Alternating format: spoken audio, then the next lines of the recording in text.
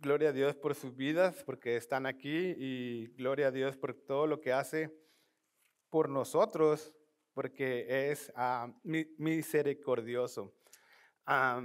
quiero orar por, no miro a mi hermana Mariela, quiero orar por su hija, por Mariela y por su familia, para, por Sheila, que está enferma y para que Dios tome el control en este servicio y que nuestros corazones estén abiertamente a la palabra del Señor.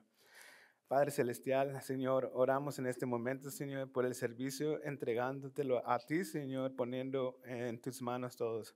Señor, oro con mis hermanos en Cristo, Padre, por nuestra hermana Mariela y su hija Sheila, Señor, para que tú tomes el control de esta fiebre, dolor, lo que tenga, Señor, reconociendo que tú harás un milagro, Señor, de que tu, tu promesas son poderosas, Señor, poniéndolo todo, Señor confiando en ti, Señor, y extrañando a ellos, Señor, porque ellos se aman y, y, están siendo atacados en estos momentos, Señor, como todos hemos sido atacando, atacados, pero confiamos, Señor, en que tú harás un milagro, Señor. Los ponemos en tus manos, Señor, y, queremos y deseamos, Señor, que vean tu mano poderosa, Señor, que tú trabajes en ellos, Señor, que su familia vea el poder de la oración, Señor, que es lo que tú nos has enseñado y lo que tú nos has regalado como escudo, Señor. Señor, gracias por tu amor, toda tu misericordia, Señor. Gracias por la sangre de tu Hijo Jesucristo, Señor, que nos lleva a nosotros a, pura misericordia y gracia tuya, Señor. Sí, algo que no merecemos, Padre, pero que es un regalo maravilloso para nuestras vidas, para todo nuestro corazón. Yo oro por cada persona que está aquí, Padre, para que tú tomes el control en este momento, Padre, y que el Espíritu, Señor, les hable a su corazón, que reaviva, Señor, que, que nos despierte, Señor, que sea de gran bendición para cada uno, Señor. Gracias por todo lo que has hecho en nuestras vidas por lo que en el pasado y por lo que harás en el presente, confiando en tu sangre poderosa y en el poder de la cruz. Bendícenos en el nombre de Jesús. Amén. Vamos a seguir con Mateo 18 para recordarnos de cómo la semana pasada estuvimos hablando de mm, cómo debemos de ser como niños nosotros, cómo es de que ah, debemos de portarnos ante, ante un Dios santo y poderoso, cómo debemos de ser más ah, intencionales para vivir en la libertad, en la libertad del reino. es, este, es que es, es sobrevivir como niño en el reino de Dios. Los niños necesitan disciplina, perdonar uno al otro, porque los niños cometen muchos errores. Recuerdan que les dije que la semana pasada que debemos de ser como niños, porque cuando ustedes ah, quieren que sus hijos sean obedientes, ustedes sí quieren corregir a sus niños y que ellos hagan caso, ¿verdad? Entonces, nosotros, Dios quiere que nos portemos de la misma manera. Perdón. Todos miren y eh, vean su corazón, que realmente las personas que tienen hijos, ustedes quieren que nuestros hijos ah, rápidamente hagan caso, pero nosotros cuando la palabra nos dice que debemos de actuar o hacer hacedores de lo que Dios dice en la palabra, lo que tiene para nosotros, nosotros qué pasa? Otra vez digo, mm, ¿qué, qué tenemos? ¿Endurecemos nuestro corazón o tendemos a tener a una rebelión? Pero los niños no, los niños sí son obedientes, los niños sí quieren agradar a su padre. Entonces, ¿qué es lo que no estamos haciendo nosotros? Ah, cuando nos revelamos, cuando tenemos ah, corazón duro, cuando tenemos una venda, nos revelamos ante nuestro Padre Celestial. Entonces, por eso Mateo 18 nos está enseñando que todos debemos de ser como niños. Y como dije, tenemos un pastor, un guiador, un intermediario con Dios para que ustedes ah, obedezcan, seamos ovejas ah, obedientes ante, ante un Padre celestial, un Padre que es misericordioso con nosotros y que es bondadoso con nosotros, que nos llena de, de amor, de espíritu y de alegría. Voy a poner un ejemplo de Yeshua, que la semana pasada se portó mal. Su mamá quería que él ser corregido para que, y mandó a, a Yeshua para que fuera a pedir perdón a sus maestros. sí, el niño fue obediente y hizo lo que su madre le había pedido.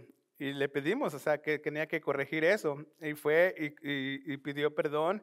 Y la maestra primero había mandado un correo de queja, después mandó un correo de agradecimiento porque el niño había sido sincero y había ido a pedirle perdón. Pero ahora a lo que voy, ¿qué les digo? Adultos, nosotros que nos dice la palabra que tenemos que, que gracias, que tenemos que ser obedientes con, con, con nuestros padres, en la iglesia con, con lo que la palabra te dice, nosotros no, en veces o tal vez no entendemos o no queremos entender o no sabemos o no discernimos, la palabra de todo lo que nos hable el Señor. O a veces verdaderamente somos como niños que no entendemos, no entendemos y, no queremos hacer caso. Entonces, ¿qué nos lleva a eso? A rebelión. Entonces, es rebelión la que tenemos. Pero pónganse a pensar todos y, en su corazón, cómo ustedes, cuando quieren que sus hijos sean obedientes, ellos sí hacen caso, sí son obedientes. O si no, uno los corrige. Uno ahí tiene la tabla para corregirlos, ¿verdad? Pero nosotros Dios nos corrige también. Nos corrige con tribulaciones, con, con ah, aprietos, apuros, muchas cosas que, Dios te va a estar corrigiendo, va a estar ah, trabajando en tu vida. Pero también eres ciego porque no las ves y eres terco y no eres obediente y sigues escuchando que debe de ser sumiso a la palabra del Señor y no lo somos. Nosotros tenemos que perdonar a todos de mucha maldad, porque hemos cometido mucha maldad en contra de Dios. Y Él nos perdonó por completo. Él mandó a su Hijo a morir por nosotros, por nuestros pecados. Entregó un cordero para nosotros. ¿Y qué es lo que hoy es, le, le honramos el día de hoy? Eso es. Y ya como creyentes y obedientes de la palabra, de ser hacedores de lo que a Él le agrada, esto es lo que la recompensa que, tiene, que tenemos nosotros, los que están más ah, en la palabra, más, más sabiendo, más entendiendo, más comunión, reviviendo su espíritu. Pero ¿qué es lo que quiere Él para todos? Que todos seamos hacedores, que todos seamos obedientes. Dice que cuando uno no vive en disciplina o tiene males deseos, la iglesia tiene que ayudar a la persona. Cuando uno te habla, te habla con amor. Yo siento que cuando yo hablo con ustedes y, y compartimos, yo les hablo con amor y yo quiero y yo deseo que ustedes entiendan para que ustedes tengan los milagros los beneficios, lo que Dios tiene para ti, para tu vida. Por eso yo, yo quiero compartir. Pero hay veces que la persona dice que no es así. O, se revela o se jalonea y, quiere hacer lo que él quiere o lo que él piensa, porque ya somos inteligentes, decimos que tenemos ah, inteligencia. Entonces, uh, la persona se empieza a endurecer o empieza a, a ponerse más, sí, endurece más su corazón.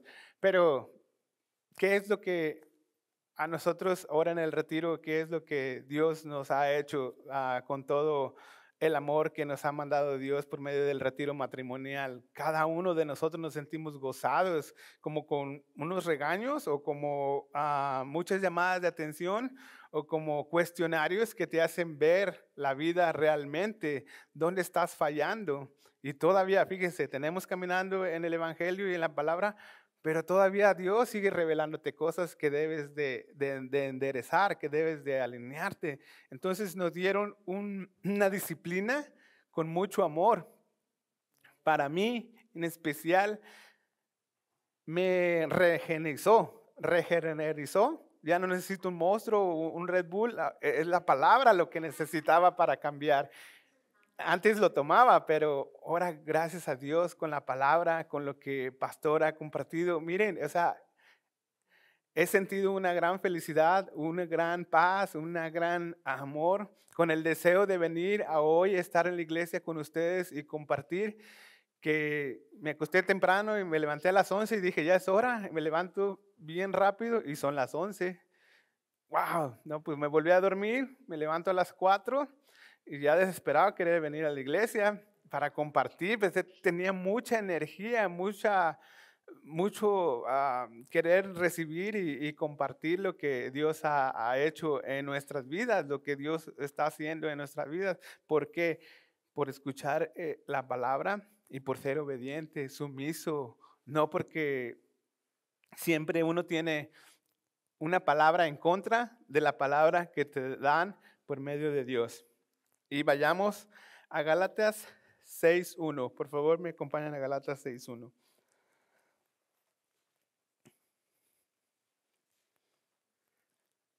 Amados hermanos, si otro creyente está dominado por algún pecado, ustedes que son espirituales deberían ayudarlo a volver al camino recto, con ternura y humildad y tengan mucho cuidado de no caer ustedes en la misma tentación. Como les decía, yo a veces he hablado con ustedes y yo trato o yo siento que les hablo con ternura y humildad. Pero pongamos, Armando, he hablado con Armando y he compartido. Yo siento que lo que yo le he dicho de la palabra he sido con humildad y ternura y con amor porque lo amo. Pero él puede que sienta que no, que el enemigo le ponga en su cabeza, no, eh, con la forma que tú me lo estás diciendo, abusas de mí. Con la forma que tú estás diciendo, eres, no eres justo conmigo. Le puede poner el enemigo muchas cosas en su cabeza, igual a todos, como todas las personas que he hablado, Alex, Oneida, o Nicolás, Ingrid, todas personas que he hablado con ustedes, pueden meterles el enemigo, la cizaña y decirles, no, eso no es, eso no es de Dios. Pero yo se los estoy compartiendo de la palabra. Yo quiero que ustedes vengan y sean libres, verdaderamente libres en el reino de Dios. ¿Y qué nos falta a todos? Ser obedientes, sumisos como niños, arrepentirse, dar un cambio en su vida verdaderamente.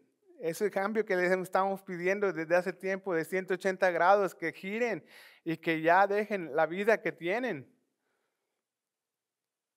Pero yo les digo, el, el enemigo te mete cizaña Tal vez, como, yo les digo, estoy confrontando a Armando, pero él piensa, no, nomás a mí me atacas, allá hay más hermanos, ¿por qué no te vas para allá? ¿Por qué no me dejas a mí?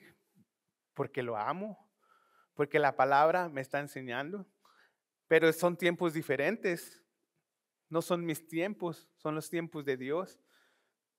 Va a llevar a cada uno a confrontarlos, a amarlos. Si ustedes no tienen de ser hacedores cuando la palabra les habla, cuando Dios les habla, entonces nosotros tenemos que actuar como iglesia, porque los amamos, porque queremos y porque obedecemos la palabra y el Evangelio. ¿Qué queremos? Que actuar. Queremos que nosotros tomar la iniciativa porque ustedes no la han tomado, porque no quieren tomarla o porque quieren nada más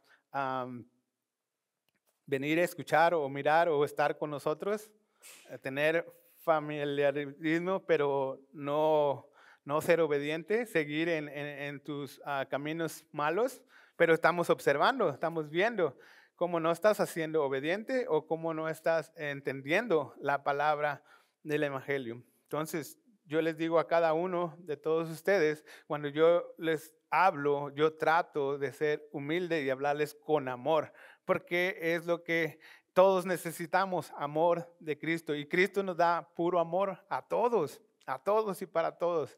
Es, es algo que sientes en tu corazón, una necesidad de, de estar compartiendo con todos ustedes, pero la palabra te lo dice.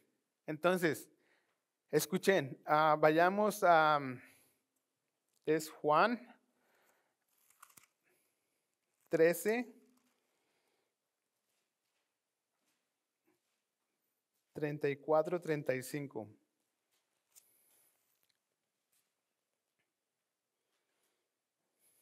Dice la palabra así. Así que ahora les doy un nuevo mandamiento. Ámense unos a otros tal como yo los he amado a ustedes. Deben de amarse unos a otros. El amor que tenga unos por otros será la prueba ante el mundo que son mis discípulos. Eso es lo que a mí me llenó de gozo y me refortalece y que me hace estar en libertad. Esa palabra me, me, ha tocado mucho. Entonces, esas palabras son las que yo uso. Yo, eso es lo que, ah, ese es mi escudo, ese es mi amor para darle a todos ustedes, porque Cristo me ha dado mucho amor a mí y ha sido fiel y, me ha sido, maravillosamente me ha bendecido. Pero estamos en, en, proceso.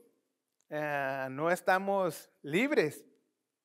¿Por qué? Porque dice la palabra, tal vez, como les digo, ah, él piensa que ah, yo lo estoy atacando o que yo nada más con él o que nada más me le estoy encaramando encima, dicen en mi rancho. Pero no, al final del versículo dice, tengan mucho cuidado de no caer ustedes en la misma tentación. Estamos dispuestos nosotros a caer a tener un fracaso, a, sí, a fracasar. ¿Por qué? Porque el enemigo te puede atacar. Pero miren, cuando ustedes tienen el Espíritu, lo reaviva. Entonces, los, el, el, Espíritu es el que trabaja por ti. Nuestra carne, pues sí, podemos fracasar, pero nuestro Espíritu nos va a levantar. Entonces, la palabra te reenergiza, te da más energía mucho más que un monster o dos, más. Yo lo he comprobado, tengo una bendición grande con estas palabras y con Juan, o sea, siento que es una gran bendición que todos pueden tomar. ¿Por qué? Porque es un regalo, es gratis, es para cada uno de nosotros, todos. Pero ¿qué? Tenemos que ser obedientes. Pero otra vez, ¿qué les digo? Ya mañana se nos olvida, ya mañana somos otra vez a la rutina. Entonces, aprendimos nosotros en el retiro de matrimonio que debemos de salirnos de la rutina, no debemos estar en la rutina siempre, debemos de salirnos de la rutina, debemos de, ser intencionales en, en, lo que la palabra nos está enseñando, en buscar lo que la palabra nos está enseñando.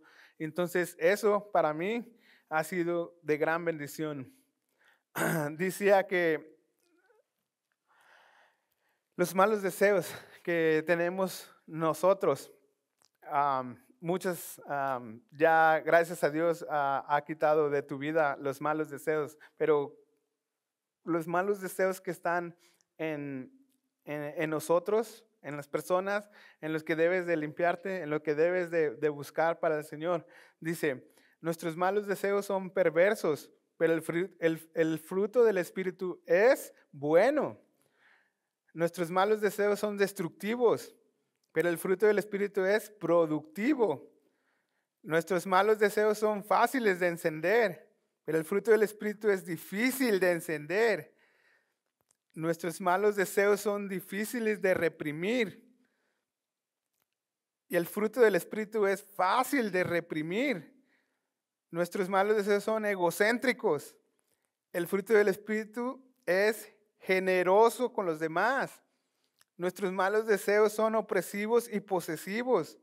El fruto del Espíritu es liberador y considerador. Nuestros malos deseos son decadentes. El fruto del Espíritu es edificante. Nuestros malos deseos son pecaminosos. El fruto del Espíritu es santo.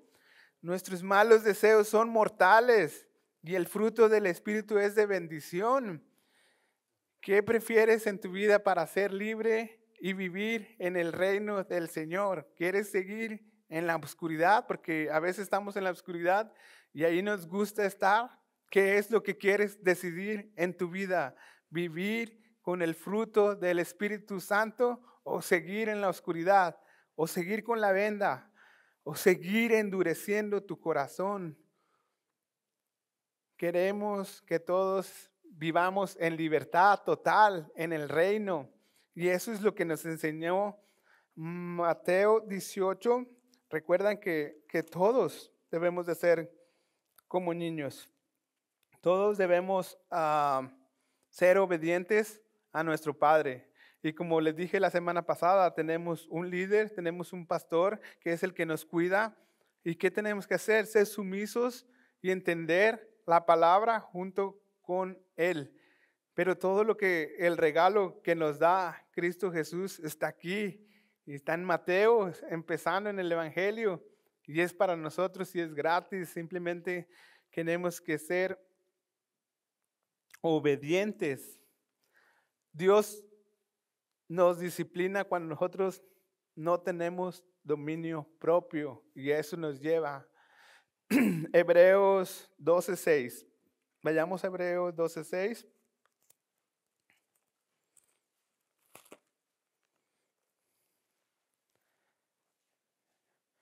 Pues el Señor disciplina a los que ama y castiga a todo el que recibe como hijo. Cuando la iglesia intercede en tu vida y te está diciendo, estás mal, te está disciplinando o eres disciplinado, es porque el Señor está intercediendo por ti. Es porque Él ya te recibió como hijo. Es porque ya eres un hijo de Él, ya eres nada más ahora lo que quiere uno liberarte, que sea libre, que verdaderamente entiendas la necesidad de nuestro Señor en tu vida. Y todos debemos de ser eso, buscar intencionales y hacer hacedores de, todo esto que Él nos ha enseñado. Recuerden, eh, vayamos a Mateo 18, en, dice que ese escenario de llegar a ser como un niño pequeño para entrar en el reino de Dios, eso es lo que nos dijo del versículo 1 al 6, ese es el escenario para poder entrar en el, en el reino del Señor. ¿Y para qué? Para que caminen o para que estén en libertad, gozados en el Señor, disfrutando de todas las bendiciones que, que Él nos está dando, lo que Él quiere. Si quiere cambiarte en tu vida, es para el bien de nosotros mismos. Así le decimos a nuestros hijos, lo que hago es por tu bien. Y sí, nuestros hijos ahorita van a estar con nosotros enojados o, van a estar ah, queriendo rebelarse más y van a decir que no los quieres, pero en 10 años te lo van a agradecer. Cuando estén más grandes, dice la palabra, instruye a tu hijo en la palabra y jamás se apartarán. Y así es, así es la palabra. Y eso es lo que debes de hacer con tus hijos, es lo que debes de buscar, pero primero ser obediente y ser intencional con lo que el Señor nos escribe en la palabra. Es un regalo. Ya Él ya pagó por todos nosotros, por toda la maldad que tú puedas tener en tu corazón o por todo lo que tú no quieras soltar. Ya Dios, ya Cristo ya pagó eso. Tienes que arrepentirte verdaderamente, porque si no te arrepientes vas a sufrir, vas a, vas a sufrir y, y, y Dios, Dios te va a disciplinar, como dice la palabra. ¿Por qué? Porque es Dios de orden y Él te va a disciplinar. Si tú no entiendes la palabra de Él y no la aplicas en tu vida, en tu corazón, vas a ser disciplinado, porque así como nosotros disciplinamos a nuestros hijos, así nos van a dar, así te va a dar hasta que entiendas. Y ándale, y ya además te vas a acordar, ah, como le pegaba yo a mi hijo, me está pegando Dios. Entonces sí vas a clamar, Dios, ayúdame, rescátame. Pero si Dios te tiene aquí en su iglesia, ¿para qué vas a esperar estar en el hoyo? Otra vez, porque hemos estado en el hoyo y ya nos sacó y estamos aquí. ¿Para qué vas a esperar otra vez estar en el hoyo? Yo pienso que no tiene sentido. ¿Quieren, quieren vivir martirizados ustedes mismos por su pecado? No. Ahora miren la palabra que nos está enseñando cómo te, da energía y cómo te da paz, gozo, te da fortaleza entre tus hermanas en la iglesia, en, tus líderes, en, la, paz, en la armonía que hay en tu iglesia, en, en, de querer, animado, en de querer buscar a las demás personas que necesitan del amor de Cristo. Y para eso es el mensaje, para que quede grabado y para que hagan y sean hacedores de, de lo que el Señor quiere para su vida. Dice, Sé inocente como un niño y mantente alejado del mundo de la tentación. Eso es lo que nos dijo en ah, Mateo 18, ah, 7 al 9. Dice que te mantengas alejado del mundo y de la tentación. Pero nosotros, otra vez que les digo, si estamos aquí Gracias a Dios ah, tenemos reuniones eh, los miércoles y nos juntamos como familia en Cristo y compartimos y pedimos y oramos y estamos más enfocados en la familia en Cristo a que el, enemigo nos este, jale. Pero el, el, enemigo no duerme, ahí está esperando cualquier oportunidad para poder tirarte el dardo. Entonces tienes que estar ah, preparado y estar escuadriñando la palabra y, leyendo y aprendiendo más y que compartiendo como estamos haciendo con ustedes y reuniéndonos como lo estamos reuniendo. ¿Y qué, está, qué va a pasar? ¿Qué va a hacer? Nos va a fortalecer más. Vamos a tener, uh, estamos cubiertos en una burbuja de los ángeles de Cristo Jesús. Ustedes, toda la familia que estamos juntos, están cubiertos con eso. Se salen, ¿qué va a pasar? La destrucción va a venir pronto. ¿Por qué? Porque el, hermano endureció su corazón, la hermana no quiere entender la palabra del Señor, no quiere entender o no sé, será mucho amor el que tú le das a tus hermanos porque no, no creen o no, no pueden asimilar que es mucho amor que Cristo da por nosotros. Y es inmenso, es infinito. Imagínense, es infinito el amor de Cristo Jesús. Y si tú te acercas a Él y eres como Él, vas a vivir infinitamente en el reino de Dios. Que no hay nada que, ningún temor, ninguna angustia que te va a hacer caer. Nada. Pero si es como cuando dijimos, vamos a fortalecer nuestra casa en la roca, pero si seguimos sin entender la palabra de Dios, sin escuadriñarla, sin hacerla, sin aplicarla en tu vida, estás construyendo tu casa en la arena. Y cuando venga la tormenta, se va a deshacer, se va a destruir.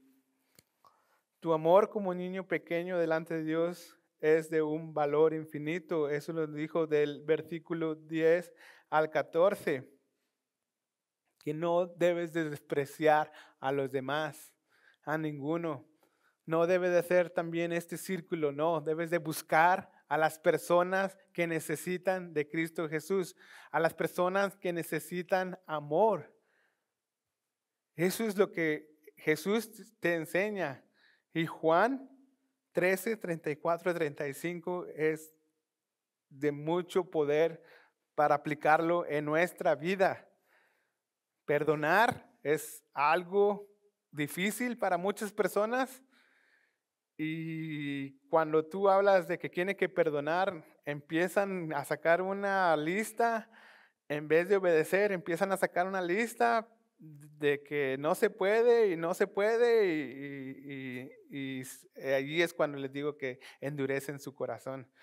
Pero sí se puede, hay un poder sobrenatural, es que tienes que aceptar a Cristo en tu corazón y obedecer Juan 13, 34, 35. Y sí se puede, esa, es un poder sobrenatural que va a trabajar en tu vida. Tú, nosotros no podemos por la carne uh, débil, pecaminosa, por la carne que, que, que, te va a decir no, no, no, el enemigo te va a estar diciendo no, pero sí se puede, hay un poder sobrenatural. Y el espíritu que tú revives y que viva Cristo Jesús en tu corazón, vas a poder hacer eso y mucho más. Te va a sobrar el tiempo para dar amor, buscar las personas que necesitan de amor, hablarles y compartir el Evangelio. ¿A dónde te va a llevar eso? A una libertad grande, inmensa. Vas a ser libre en el reino. Vas a ser libre. ¿Para qué? Para vivir a, la forma de que le agrada a nuestro Padre Celestial. Dice, como un niño pequeño serás pecando contra ti, dice, del 15 a 20. Dice la palabra, ¿cómo tratar a un creyente que ha pecado? ¿Cómo tienes que tratarlo? Del versículo 15 al 20 nos habló de cómo debemos cómo debemos actuar contra esas personas. Nos ha dicho, ah, lo voy a leer, dice, si un creyente peca contra ti, habla en privado y hazle ver su falta. Si te escucha y confiesa el pecado, has recuperado a esa persona. Pero si te hace caso, toma uno o dos más. Si no te hace caso, perdón, toma uno o dos contigo y vuelve a hablarle para que los dos o tres testigos puedan confirmar todo lo que digas. Si aún así la persona se niega a escuchar, lleva el caso ante la iglesia. Luego, si la persona no acepta la decisión de la iglesia, trata a esa persona como a un pagano o corrupto cobrador de impuestos. No somos nosotros, es la palabra del Señor. Cuando la persona no entiende la primera, la segunda, la tercera vez, cuando se revela, ante la palabra y no entiende. No somos nosotros. Dice, trátalo como un pagano, un corrupto, un cobrador de impuestos. No es que nosotros pongamos una ley. No, es la palabra, porque te está uno queriendo dar el amor y tú no lo quieres. Tú eres el que no quieres el amor de Cristo. Uno está trabajando y queriendo amarte, entregándote, porque así lo dice la palabra. Vuelvo, Juan 13, 34, 35, para que pegue en tu corazón y sea hacedor, para que entre profundamente, para que veas que sí necesitamos hacerlo. Dice, como un niño pequeño que peca, debes perdonar todos y cada uno de todos, cada uno de los pecados cometidos contra ti. Si ustedes tienen rencor, orgullo o todo lo que el enemigo te hace que lleves una carga pesada, libérate. Cualquier cosa que te está martirizando, libérate. Versos del 21 al 35 nos va a, explicar y nos va a enseñar cómo debemos de liberarnos pero si tu corazón tiene esa carga, ora, pide ayuda a tu iglesia en este momento, que digas, hey, necesito ayuda, necesito sacar, necesito perdonar o necesito que me perdonen. O necesito verdaderamente a Cristo en mi corazón porque ya no puedo con todas las cargas que tengo. No tengo el poder, pero Cristo sí tiene el poder y, te va a levantar. Te va a sacar donde estás, del hoyo, pero no esperes que te vayas más profundo. No, porque estás escuchando la palabra del Señor, estás escuchando el Evangelio y te está hablando a ti en el corazón. A muchas personas, a muchos hermanos nos va a hablar diferente, pero a todos nos está hablando. Ok, Vayamos a, a, Mateo 18 al 21. Dice, luego Pedro se acercó y preguntó, Señor, ¿cuántas veces debo perdonar a alguien que peca contra mí? ¿Siete veces? No, siete veces, respondió Jesús, sino setenta veces siete. Por lo tanto, el reino de los cielos se puede comparar a un rey que decidió poner el día en cuentas con los siervos que le había pedido prestado dinero. En el proceso le trajeron a uno de sus deudores que le debía millones de monedas de plata. No podía pagar así que su amo ordenó que lo vendieran junto con su esposa y sus hijos y todo lo que poseían para pagar la deuda. El hombre cayó de rodillas ante su amo y le suplicó por favor, tenme paciencia y te lo pagaré todo. Entonces el amo, el amo sintió mucha lástima por él y lo liberó y le perdonó la deuda. Pero cuando el hombre salió de la presencia del rey, fue a buscar a un compañero, también siervo, que le debía unos pocos miles de monedas de plata. Lo tomó del cuello y le exigió que le pagara de inmediato. El compañero cayó de rodillas ante él y le regó que le diera un poco más de tiempo. Ten paciencia conmigo y yo te pagaré. Le suplicó, pero el acreedor no estaba dispuesto a esperar. Hizo arrestar al hombre y lo puso en prisión hasta que pagara toda la deuda. Cuando algunos de los otros siervos vieron eso, se disgustaron mucho, fueron ante el rey y le costaron todo lo que había sucedido. Entonces el rey llamó al hombre, al que había perdonado, y le dijo, siervo malvado, te perdoné esa tremenda deuda porque me lo rogaste. No debería de haber tenido compasión de tu, de tu compañero, así como yo tuve compasión de ti. Entonces el rey enojado envió a los hombres a la prisión para que lo torturaran hasta que pagara toda la deuda. Eso es lo que le hará mi Padre Celestial a ustedes si se niegan a perdonar de corazón a sus hermanos. Esa es la ley de nuestro Señor Jesucristo. Esa es lo que nos va a pasar a nosotros si verdaderamente nosotros no perdonamos de corazón a su hermano. Pero aquí pienso, ¿quién es el rey? Es nuestro Señor Jesucristo. ¿Y qué hacemos nosotros cuando ah, estamos en una tribulación? Le pedimos, le rogamos y cuando Dios responde nuestra ah, petición o nuestra necesidad, ¿qué hacemos después? Fallamos porque volvemos donde estábamos. Pero el Señor Jesucristo te dice que vengas y construyas su reino y que seas obediente y sumiso y que te entregues a Él, que te arrepientas, que pidas perdón. No queremos. Tal vez yo en mi antiguo yo lo que no quería era por vergüenza, vergüenza en mi corazón, vergüenza por lo que tenía, pero no entendía el verdadero evangelio que ya Cristo pagó todo por nosotros, que ya Cristo te lo regaló. Eres libre, pero tienes que venir a los pies de Él, arrepentirte y entregarte a Él. Así como tú pides, ruegas, imploras para que Él te sirva, así tienes que hacer tú y dar amor a las personas que necesitan de ti. Tú no puedes vivir con rencor ni con falta de perdón. ¿Por qué? Mire el versículo 35. Es lo que les hará mi Padre Celestial a ustedes si se niegan a perdonar de corazón a sus hermanos. A mí me ha pegado mucho esto en el corazón porque yo he mirado muchas personas o muchas personas tienden a que si me la haces, me la pagas, así, en caliente, dicen. Y entonces, yo donde veo la mano de Dios e, en, su vida.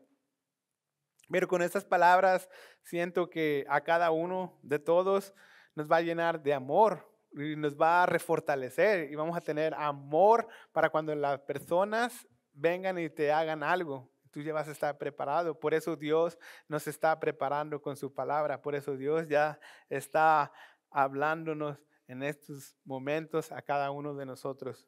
Si alguien tiene un gran peso así, si alguien tiene una necesidad así, por favor, oren, hablen, pidan ayuda. Todos somos libres, todos tenemos el derecho de ser libres. Ya Cristo pagó todo por nosotros.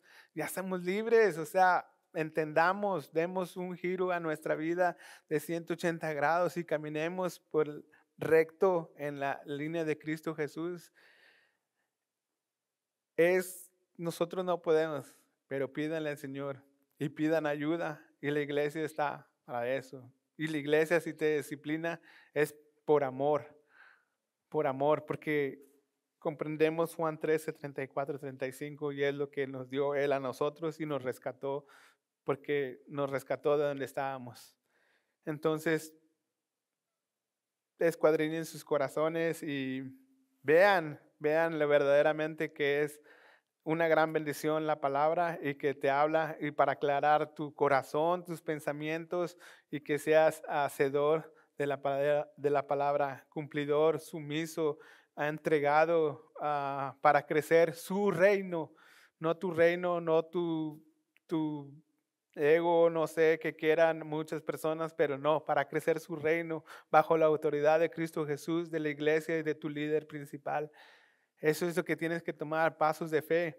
Miren, estamos enfermos, responde Dios a nuestras peticiones. Sí, Dios nos escucha y nos da, pero les digo, si no entienden, si no entendemos, ¿qué va a hacer Él? Nos va a disciplinar.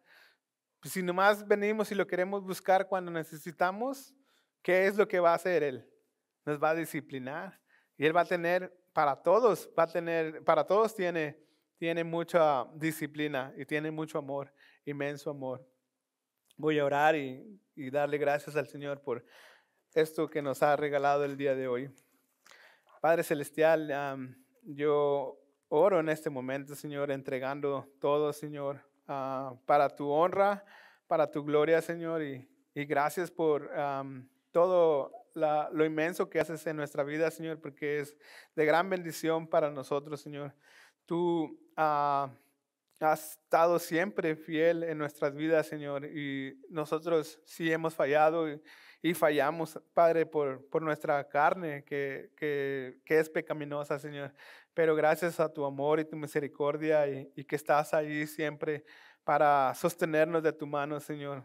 Oro en este momento para que todas las personas aquí presentes, Padre, mis hermanos, Señor, uh, empecemos, Señor, a hacer algo hoy, en este momento, no mañana, y que no salgamos como burros, Señor, sin, sin mecate, sino que verdaderamente hayamos entendido la palabra y, y que haya un remordimiento en nuestros corazones para perdonar o para soltar, para liberarnos, para entregarte todo a ti, Señor, para pedirte ayuda a ti, Señor, que solamente tú puedes, Señor. Ya el sacrificio ya fue hecho, Señor, ya está hecho. Ya nosotros no tenemos que hacer nada más que entregar nuestros pecados a ti ante el altar y ante el poder de la cruz, Señor. Gracias, Señor. Bendice a cada uno de nosotros. En el nombre de Jesús. Amén. Gracias a todos. Son amados y bendecidos.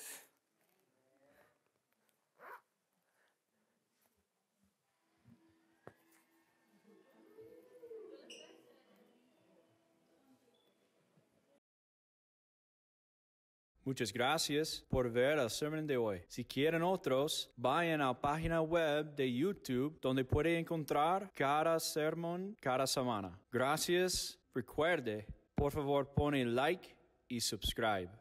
Bendiciones.